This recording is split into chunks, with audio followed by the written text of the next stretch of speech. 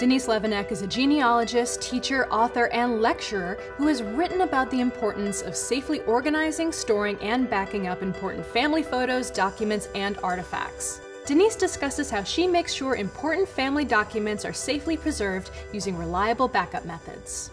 I'm Denise May Levenick. I live in Pasadena, California. I have been writing about family history and preserving heirlooms since 2007. I remember being a little girl, maybe seven or eight, and my grandmother would take me by the hand to the bedroom, and under her bed, she'd pull out a suitcase and she'd open it up, and it was full of clippings and photographs. It just opened my eyes to stories about people I loved. It only takes three generations for a family connection to be lost.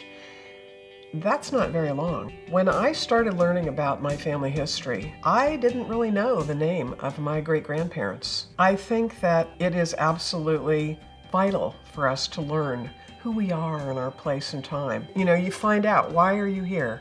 Finding out how you fit in the big scheme of, of humanity really makes us better people. I knew as soon as I started scanning my grandmother's letters and documents that I would need to make copies. I started backing up to a separate medium right from the beginning. And I suppose I didn't even really know what I was doing was called backing up. I thought I was just making a copy on a different kind of device. From my first copies or backups, I've gone on to have what I think is a little better system. I don't even keep my images on my computer. Really, I keep them all on a separate external hard drive. I call it my image library. And that one hard drive is cloned and backed up to a second one, which I call my image vault. That's my insurance copy.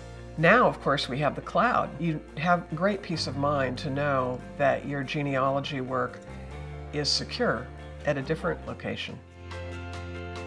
If you go out and take pictures with your smartphone, those pictures are born digital. That is, they've never existed in a physical format.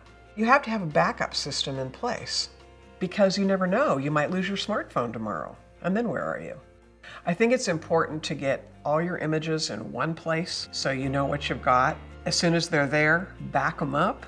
A little catchphrase that helps remember that is backup three, two, one. That means that you need three copies on two different media, and one of those should be off-site. You want to be sure that your memories survive into the next generation, to your kids, your grandkids, your great-grandchildren.